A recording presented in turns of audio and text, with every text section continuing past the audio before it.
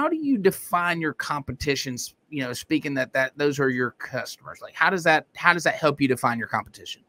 Uh, again, it, it does come down to the similar like on the road any mm-hmm. business that has those similar services within that one hour radius, right?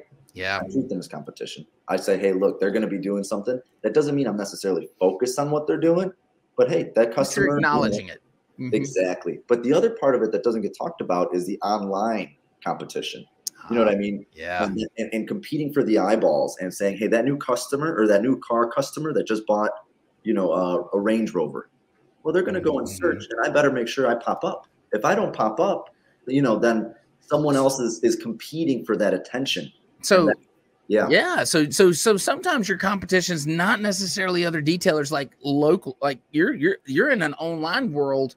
Yeah, just get customers' attention could be competition. Yeah, I think that's that's something that you know doesn't get touched on a lot. So I, I that's a great way to look at it, man. I like that. Customer, you know, I, I'm going to wash their car. I'm going to detail their car. We're going to make sure it's ceramic coated. We're going to do maintenance yeah. washes at their house. We're going to service that customer in every possible way.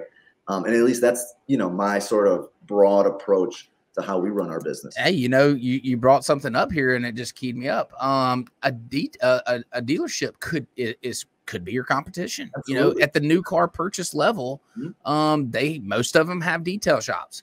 Yeah. And we all know that uh, the typical service that they get there. Okay. So we're not going to hide behind the fact that it's not, I don't even think the dealership would say we're, we're of that level, but they're making those sales. So you are competing for that business. I think a really easy example is there's a Porsche dealership down the street. They mm-hmm. offer free, free car wash. Can't be free, right? Ah. But do you really want to drive that hundred thousand dollar Porsche through that machine for free?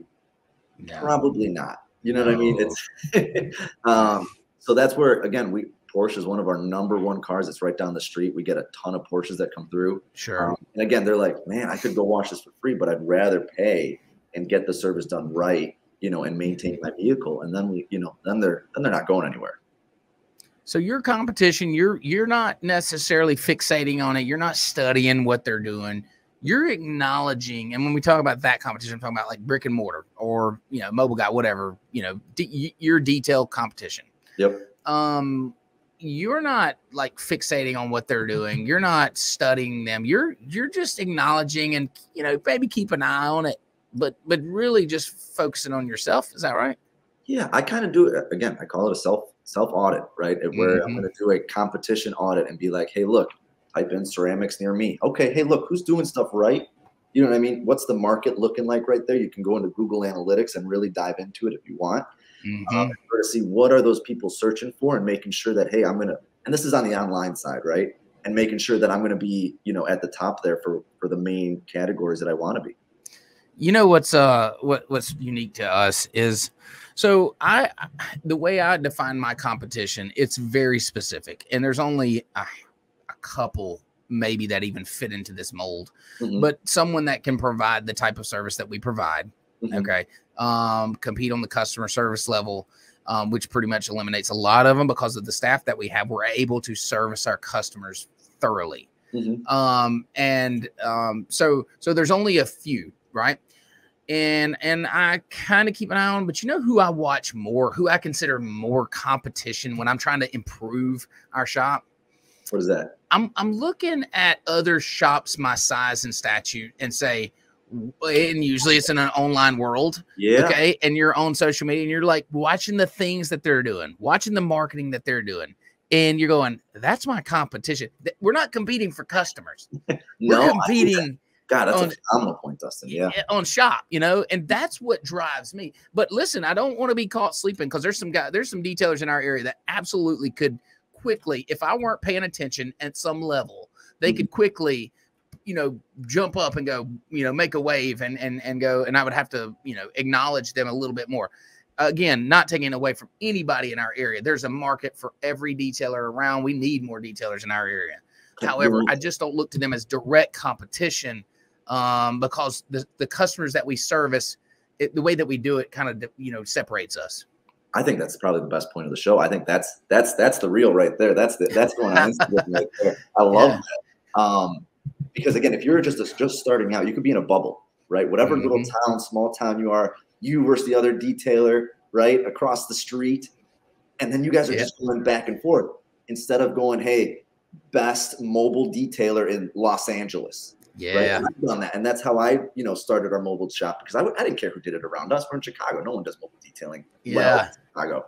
Um, no, I don't want to. You know, there's some good guys out there. No, I know what you're saying. And you, and you hate to lump everybody up in a same bowl, but you yeah. sometimes you just have to. But again, you go out and you go. Let's say you start searching in Florida and, and you know Los Angeles and California, and you you get these ideas of how people are doing it really well outside yeah. of your bubble. And yeah. man, that is a great, great point that I think a lot of people should do to great mm-hmm. to continue well, to expand their business. It does. It makes sense. I mean, that's the reason we go put the, the the race deck floor and It's the reason that we go do these things in our shop. I mean, yes, it's functional. Yes, it helps us, but we want to look the we want to look the part of these professional shops. We want to be on the level of the people that are that are doing great in our industry. We want to be on that level, and so the things that we do help get us there and that's and that stuff never ends you know like that's not a, a game that you win and it's over it's a game that's played every day and you have to acknowledge it. Now i do want to preface that by saying i don't think it's your time spent wisely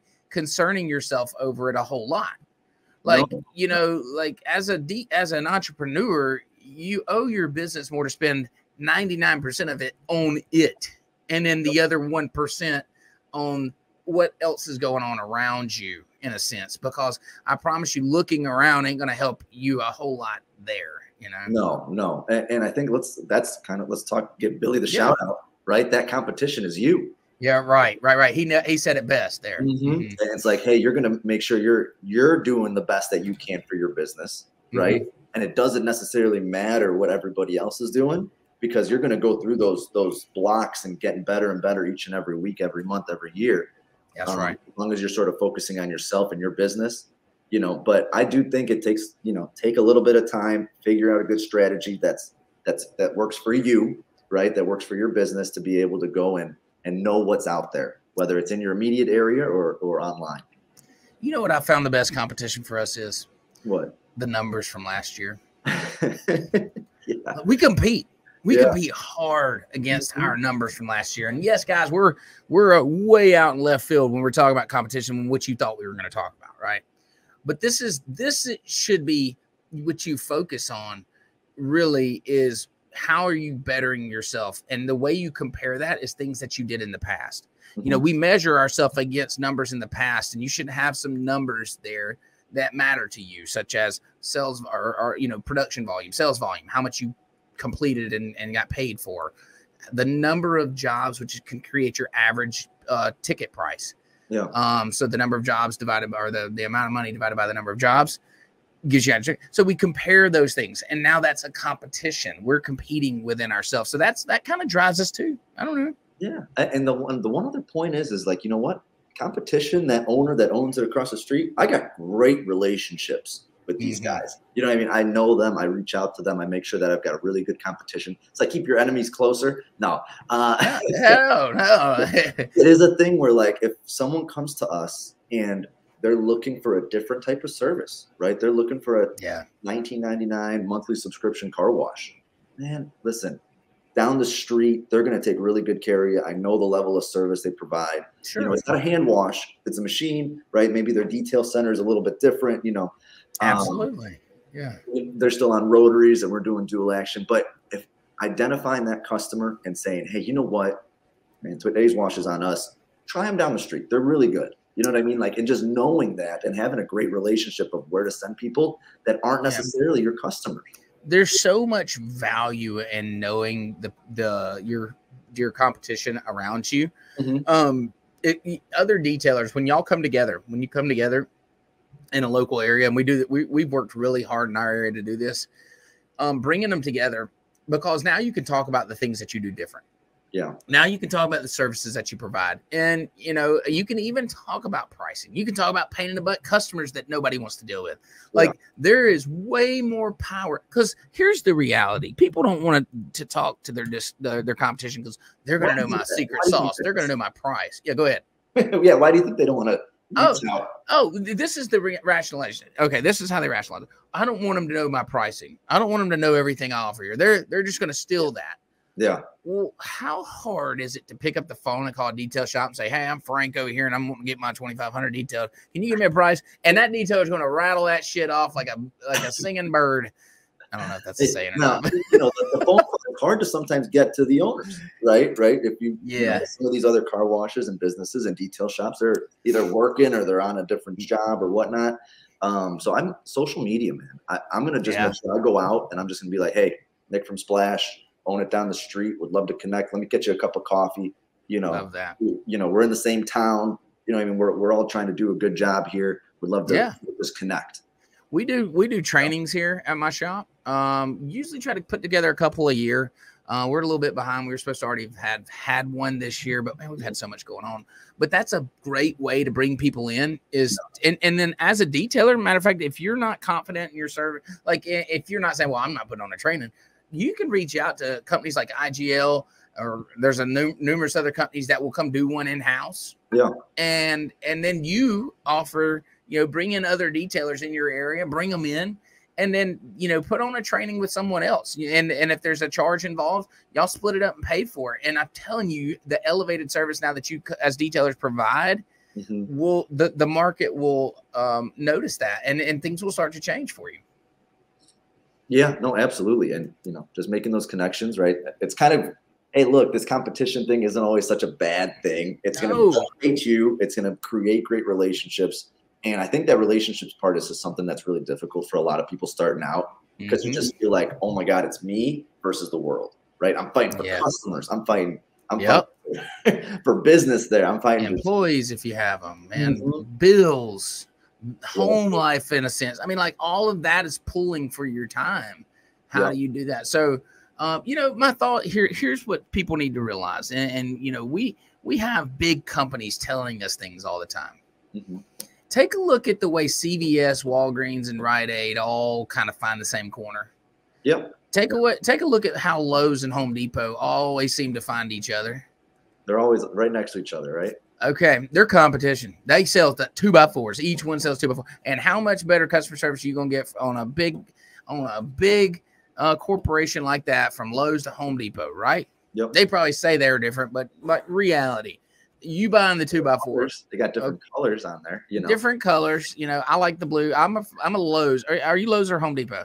Man, I'm a Menards guy. Do you know Menards down No, there? I don't know. We don't have No, Menards. it's more of a local. I don't think it's that local. It's Wisconsin, Illinois. It's Menards. so I'm uh, more of an Ace guy. If I had to choose local, then Okay. Yeah, Ace Yeah. is right next to us. So yeah. Oh Ace man, don't cheat on Ace. But but you know, we got to buy a lot of stuff, you know, Menards Yeah. has 11% rebate on everything, and yeah, they're, Wow. they're, those are my guys over there. So so but you know so seriously lowe's home depot the reason they do that guys is they're not going into an a, an area that they don't think there's a market for business mhm. all right so as a detailer like i'm not trying to go find this desolate island to go detail i'm going to find where the where the customers are yeah, and then i'm going to set up shop because I guarantee you there's more cars, more boats, more motorcycles, more campers, more RVs, more 18 wheelers to detail than all of us detailers put together can do. So I'm going to go find where people are paying for details, and that's where I'm setting up shop.